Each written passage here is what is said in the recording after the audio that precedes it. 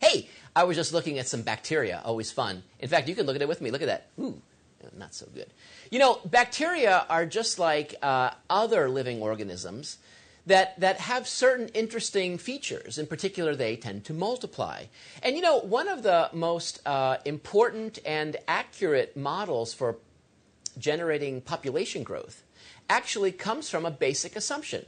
And the basic assumption is kind of kind of natural, which is if your population is larger, then in fact the rate of increase or the amount of babies produced should be larger. If your population is small, then there's in some sense less procreating, and so we'd expect that the population growth to be smaller.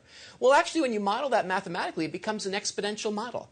And in fact, there's, there's two models that we look at. There's exponential growth, like uh, populations growing, or uh, you know, if you're considering um, uh, um, bacteria growing.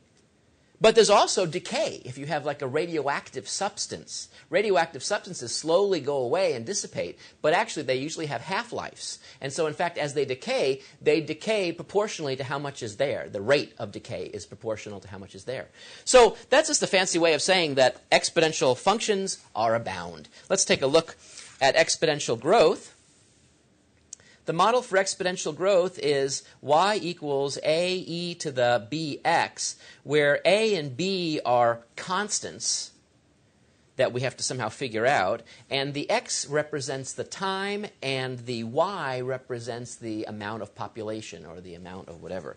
And exponential decay, happily, is extremely similar. If you look really, really closely, what you'll see the only difference is that there's a negative sign here, and that's to allow this thing to shrink to get smaller. If you remember the graphs of the exponential function, when you have e to the minus x, you remember that they actually kind of shrink. And so what you see here is this is a shrinking process. And again, the mysterious quantities a and b are determined by the given parameters of the particular question. In fact, let's take a look at one right now. This one is a bacteria type question.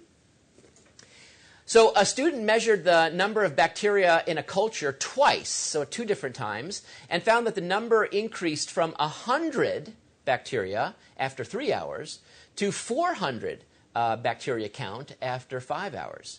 Now, let's uh, assume that the growth follows the uh, exponential growth model, which is a reasonable assumption, by the way. Uh, our job is to predict the number of bacteria in the culture after six hours.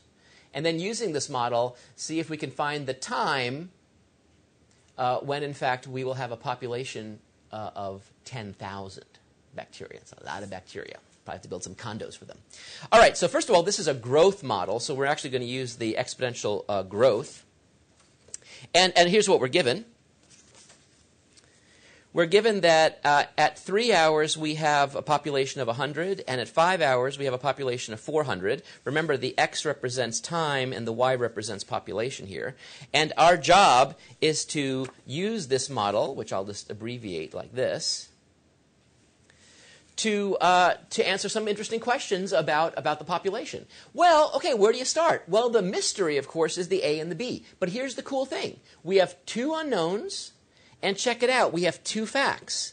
Namely, at three hours we had 100, and at five hours we had 400. Those two facts will allow us to figure out the two unknowns. So that's our first mission. The first mission is just to describe the, the parameters required. So let's think about this together and see if we can figure this out.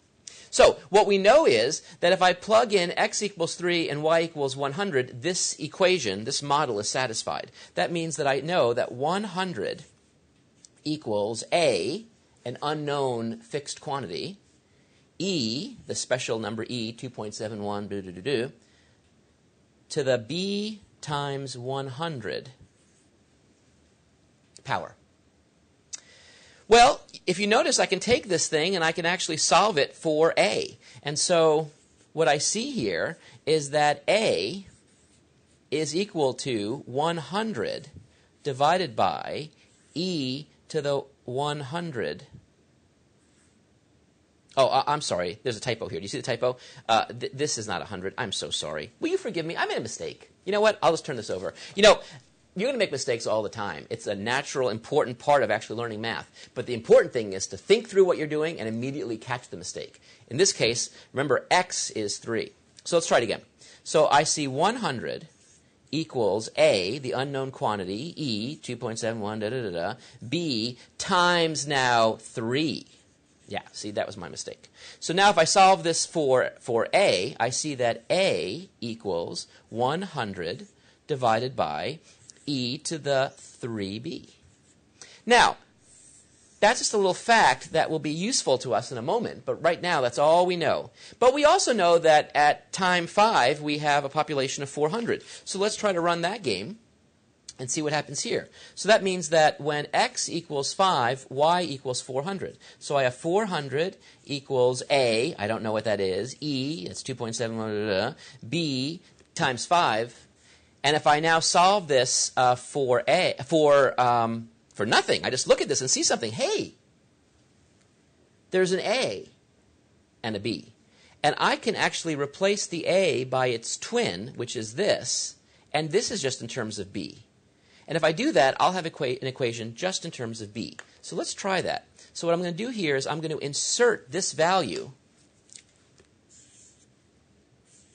and replace it by this. And that's going to remove uh, one of the unknowns. It'll get rid of a. So I'll see 400 equals, and now instead of a, I'm putting in this. That's 100 divided by e to the 3b, and then on the top I have, that's still e to the 5b. So look, I got rid of the a. And now I can actually simplify this. Notice that if I divide both sides by 100, all those zeros go away. That's kind of cool. So I see 4 equals, and then I have e to the 5b divided by e to the 3b. The same uh, base, which means what do I do with the exponents if I'm dividing these quantities? I subtract. So what's 5b minus 3b? If I have 5b's and you take away 3b's, I'm left with 2b's. Or not 2b's. Little Shakespeare joke. Stop it. Okay, so it's 2b. So all of this work allows me to conclude that 4 equals e to the 2b. And now notice the unknown is in the exponent. It's up there in the, in the rafters. I want to get it down. So taking a natural log is a great way to actually allow me to simplify this. So I'm going to take the natural log of both sides, and let's see what we get. if I take the natural log of both sides,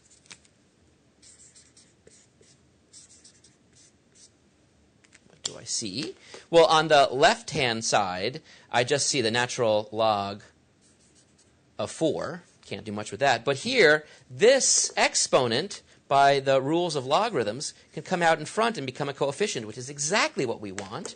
And so I'm going to have this equals 2b natural log of e. But natural log of e, remember, natural log is just log base e. So this is just log base e of e, which turns out to be 1. e to the 1 equals e.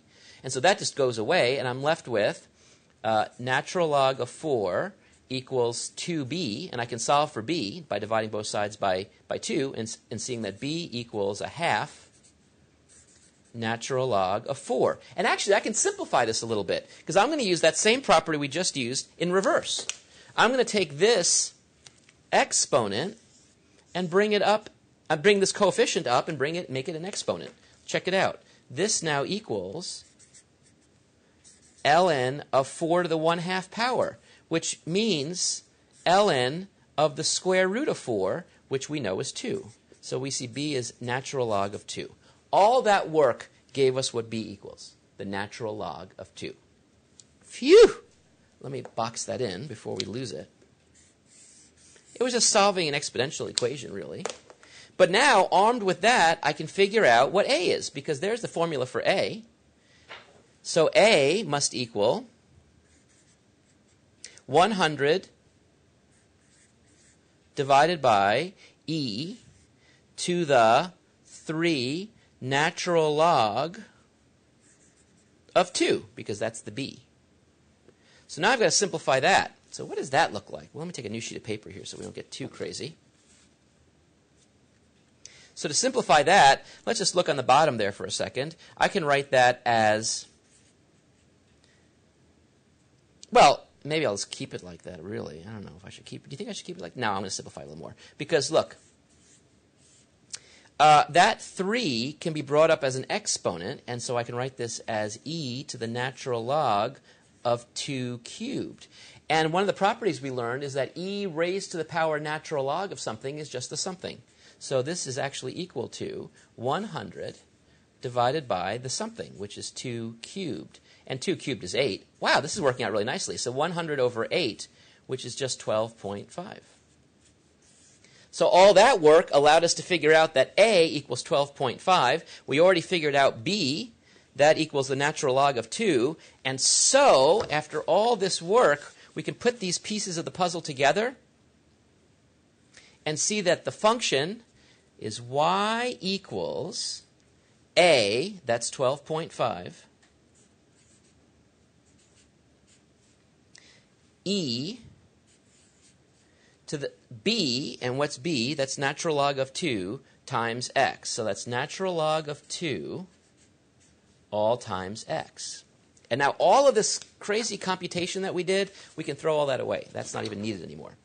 Because now these two pieces of information allowed us to conclude this. And I want to make one comment about this before I answer these other questions, just for fun, which is to show you that we could actually, if we wanted to, simplify this a teeny bit more. And so this is more of a practice of, of the, the exponential stuff, because this x is multiplying a log, which means I could bring it up as an exponent. And so I could write this as y equals 12.5 e. I'll write it with the x in front so you can really see it. Natural log of 2. See how it's a coefficient? That means I can bring it up to the exponent on the 2, which means that y equals 12.5 e to the natural log of 2 to the x power. Now, why would I do that? That seems awful. Except now remember the fact that if you have an e to a natural log power, they cancel each other out and you're just left with that. So I could write this whole thing, if I wanted to, as this.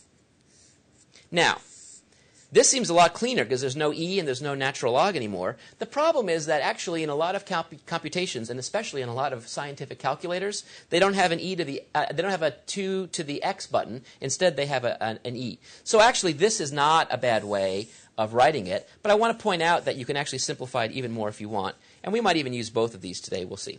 Anyway, we finally found the answer, which is that just knowing this model and knowing this information, we now have a model for this particular situation. So we can throw all of this away. Phew! And now we can come back and ask uh, what are the answers to the questions. So the first question is uh, use this to predict uh, how many bacteria in the culture there'll be after six hours. Okay, so that's time equals six. So if time equals six, what do we do? We let x equal 6. So let x equal 6. And what do I see? I see that the answer is y equals 12.5 e to the ln 2 uh, times 6. And you can actually figure out what that is with a calculator, or this is an example where it might be better just to use this. Because if I use this method, I see y equals 12.5, 2 to the 6. Then 2 to the 6 we can actually compute because 2 to the 6 actually is 64. And so what I see is this is 12.5 times 64, and that equals 800. So we see that there are 800 uh, bacteria uh, in the culture after six hours? So the answer is 800. See how fast we were able to do it once we got all. The hard part was getting the A and the B. Once you're given the A and the B, everything else goes real smoothly. So that's kind of cool. Okay, so there's that. And then there was the second part. How long will we have to wait in order to have a population of 10,000? Well, that's asking how long. We're asking for time. Time is X, so we have to solve for X. The population is 10,000. Population is represented by Y. So in our model, and I'm going to use the the real fancy version here, we know that y is 10,000 and we now want to solve for x. So that's what we want to do. In fact, you know what? This is going to actually deserve a larger sheet of paper because there's going to be lots of excitement going on here. So let's actually start with a larger piece of paper. And so uh, what do we have here? Well, I have 10,000 equals 12.5 e to the natural log of 2 times x. And now I want to solve this. So, so what should I do here? Well, I should divide both sides by 12.5. And if you divide both sides by 12.5, this, this becomes 800. So I have 800 here equals e to the natural log of 2 times x. And now to solve this, what I want to do is I want to take the natural log of both sides. Because the unknown x is up in the rafters, I want to bring it down. From an exponent to a coefficient, the log does that. So in this case, I take the natural log of both sides. So I can barely fit it in here. Natural log of this side, natural log of this side, and let's see what I get. On the left, I just get some number, which we have to compute later, natural log of 800, whatever that is, equals, and now that exponent comes out in front. And so I see natural log of 2 times x, and then I have natural log of just e alone. Well, natural log of e is just 1, so that's just 1. And all I have is this coefficient of natural log of 2 in front of the x. And so if I divide both sides by natural log of 2, I see that natural log 800 divided by natural log of 2 equals x. And that's actually a number we can compute on a scientific calculator if you wanted to. Beep, beep, beep. And this turns out to be approximately 9.643, and it goes on. And if we round it to the nearest hour, that would be about 10 hours. So we'd have to wait about 10 hours for this exponential model, given the initial data that we had, to actually uh, produce a population of 10,000. So, the exponential function is a wonderful way to model real life populations of anything, whether it's populations of bacteria, populations of human beings, or even population of money. If you put money in a bank and it grows and there's an interest rate, in fact, there's compounding going on, it's all the same principle. So, whether it's money or whether it's lives, it turns out the exponential function is there to save the day. I'll see you soon.